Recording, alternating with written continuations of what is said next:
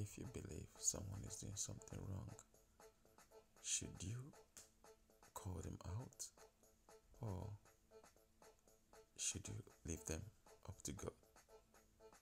Even if you think whatever they're doing could be detrimental to someone's life, should you just leave it up to mm-hmm. God or should you call them out?